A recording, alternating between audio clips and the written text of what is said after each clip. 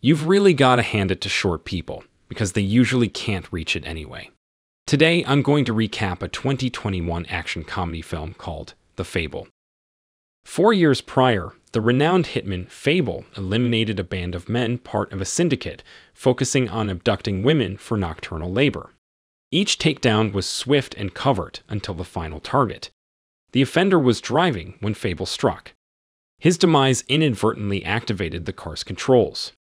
Unknown to Fable, a captive girl, Hinako, was in the rear seat now ensnared in the runaway car.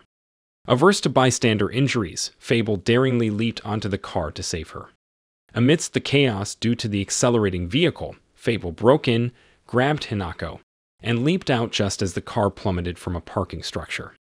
They crash landed atop a nearby vehicle. After ensuring Hinako's well being, Fable disappeared. Presently, Fable no longer takes assassination contracts. His superior deemed him excessively volatile and mandated a cessation to his lethal activities, or face repercussions. Fable now lives incognito as Akira, cohabitating with confident Yoko under the guise of kinship, and is employed at a design firm. Here he collaborates with his supervisor, Takoda, designer Misaki, once a glamour model, and Kainuma, who is fixated on Misaki due to her history, even plastering his room with her portraits. His colleagues remain oblivious to Fable's true persona. Concurrently, Hinako, now wheelchair bound from the past incident and orphaned, is under the guardianship of Utsubo, the head of a charitable institution. Publicly, Utsubo portrays benevolence towards specially abled individuals, especially the young. Privately, he exploits Hinako. He also fraudulently incriminates kids and extorts their parents under the guise of overseas rehab placements, whereas he really dispatches them and conceals their bodies in a woodland using heavy machinery. Utsubo's crew consists of assassin Suzuki and Kamen Azaki. Although Suzuki doubts Azaki's loyalty, he endures his presence because Utsubo believes Asaki, a former employee of Fable's outfit, may possess crucial intelligence. Eventually, it's revealed that Utsubo was the mastermind behind the illicit enterprise Fable opposed previously, and he craves retribution. One day, Hinako visits a nearby park to attempt the monkey bars, optimistic that it might aid her mobility. Choosing the topmost bar first, she tumbles, an incident witnessed by a passing Fable. He assures her that regaining the ability to walk is feasible with patience and effort. Yet Hinako dismisses him as a peculiar stranger and departs. Arriving home, Fable asks Yoko to recount his mission from four years prior, confirming his hunch. The girl at the park was the very same individual he rescued, leading him to be consumed by guilt over her current condition. The subsequent day, Fable observes Hinako at the park, failing at the bars again, and suggests she initiate with the bottommost bar. Despite this, Hinako still perceives him as an intrusive weirdo and vents about the park's strange man to Suzuki, who vows to confront this intruder. Concurrently, Utsubo and Isaki earmark Kainuma as their forthcoming scam target, scheming to exploit his infatuation with Misaki. They feign being detectives skilled in detecting surveillance equipment, offering Misaki a supposed service check, when in actuality they plant hidden cameras. Later, during Fable's recurrent park visits, rather than encountering Hinako, he confronts Suzuki who assaults him, instructing him to distance himself from Hinako. Back at work, Takoda assigns Fable a delivery duty for a charity's promotional material, leading him directly to Utsubo's residence. Here, Hinako's recognition prompts an invite inside from Utsubo, careful to conceal his computer laden with Misaki's illicit footage. Hearing Fable's sincere wish to aid Hinako's recovery, Utsubo anticipates potential future collaborations, while Hinako's initial discomfort with Fable melts upon realizing his social ineptitude. Once home, Fable informs Yoko of his encounter with Utsubo, a past target whose elimination was called off. He contemplates completing the task now, but Yoko counsels against it. The next day, Hinako revisits the park, heeding Fable's advice, successfully utilizing the lowest bar, enabling her to stand unassisted. Elated, she wishes Fable could witness her triumph. Unbeknownst to her, Fable watches discreetly from behind foliage, eager to avoid any further misunderstandings. In the next sequence, Utsubo masquerades as a detective, and Isaki acts as Misaki's agent, executing their next phase. They remain oblivious to Hinako's presence, who has returned from her park visit and eavesdrops from the corridor. Their ploy involves accusing Kainuma, in front of his mother, of setting up surveillance in Misaki's residence, using their clandestinely captured footage as evidence. While Kainuma refutes these claims, his mother, familiar with his tendencies, is convinced and agrees to a financial settlement to avoid public litigation.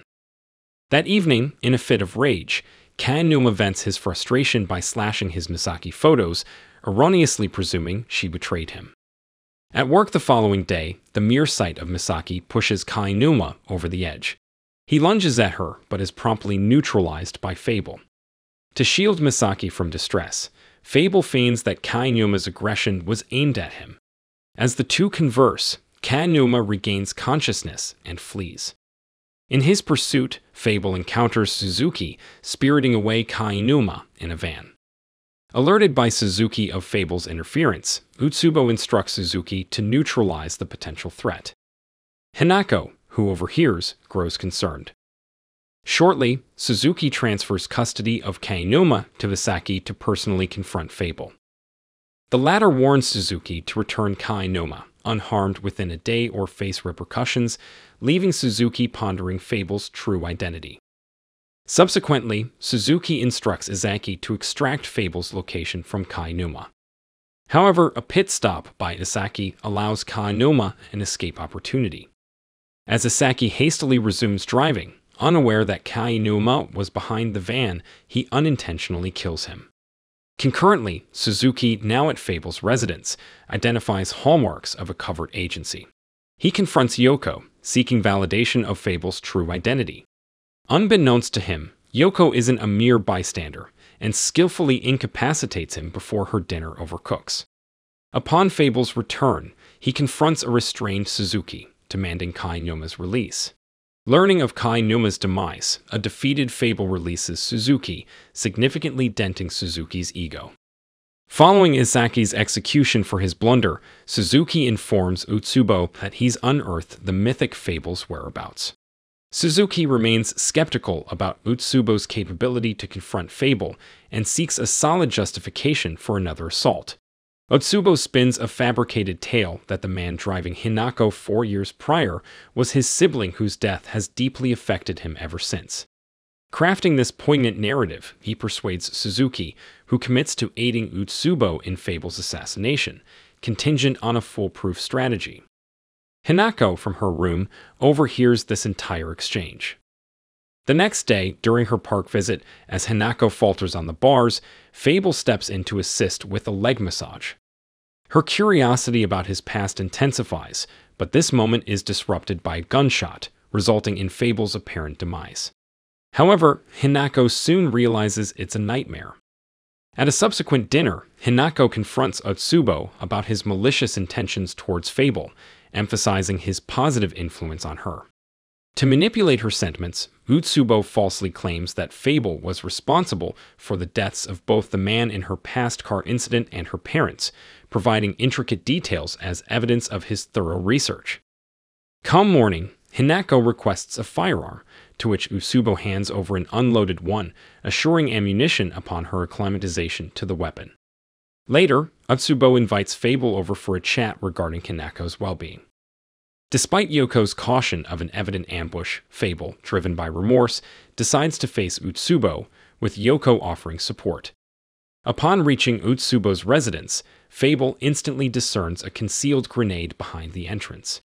In a split second decision, he leaps onto an adjacent balcony, narrowly escaping an explosion. Observing from a distance, Suzuki dispatches a team, inclusive of a sharpshooter and multiple hitmen, stationed on scaffolds. As Fable maneuvers through various apartments, incapacitating foes in his path, he attempts a swift escape by scaling the external walls, easily fending off adversaries. However, a subsequent phone alert notifies him of an explosive device planted near a hearing impaired girl on the 10th floor.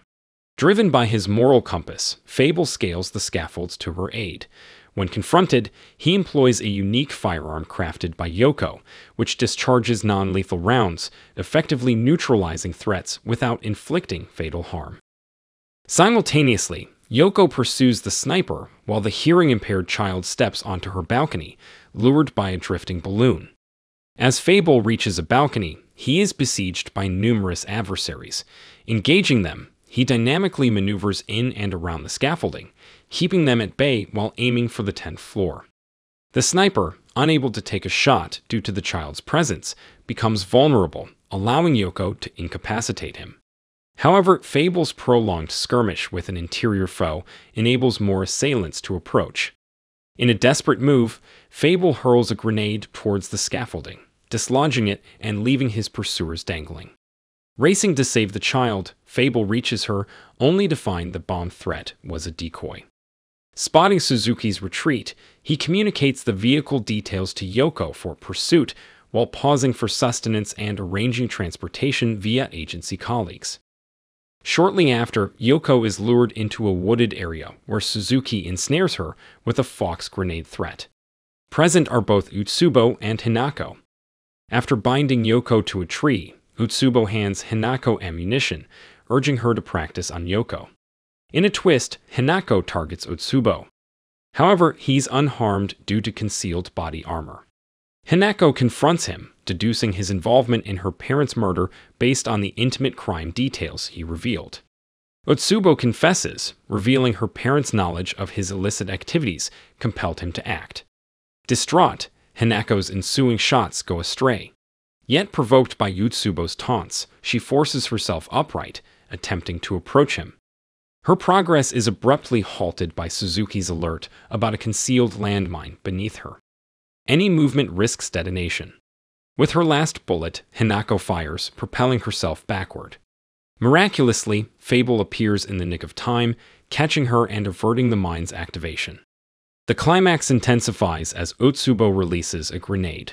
Reactively, Fable shoots, disrupting Utsubo's trajectory, then shields Hinako from the impending explosion. Pleadingly, Fable seeks Suzuki's assistance, recognizing a mutual professional code between them. Suzuki agrees to assist. After releasing Yoko to monitor Utsubo, he operates the excavator to address the landmine threat. This intervention enables Fable to swiftly move Hinako to safety, with the excavator's bucket effectively containing the blast, ensuring their protection. In a last ditch effort, Utsubo hurls a grenade at the duo. Suzuki's reflexes kick in, and he fatally shoots Utsubo. Surprisingly, the grenade remains inert, revealing Utsubo never triggered it. He seemingly sought a lethal response to end his own plight. Post this confrontation, Utsubo's body is interred using the excavator. As Fable and Yoko prepare to depart, Hinako, with considerable effort, manages to shuffle towards Fable, embracing him in gratitude. Several days later, on Christmas Eve, Fable receives a letter from Hinako, with explicit instructions to incinerate it post reading. The letter recounts Hinako's past. Four years prior, a familial conflict with her sheltering parents led her to flee, making her susceptible to abduction.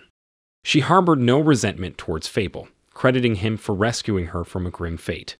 Now immersed in intensive physical therapy, Hinako anticipates reuniting with Fable in the summer, once she regains her ability to walk. As the letter is consumed by flames, Fable 2 harbors hopes of a future reunion. If you enjoyed this video, don't be shy to hit the like button, and if you disliked it, hit the dislike button twice, just to be sure. It would be best if you watched the whole movie. Thank you very much for watching. Please subscribe for more videos like this.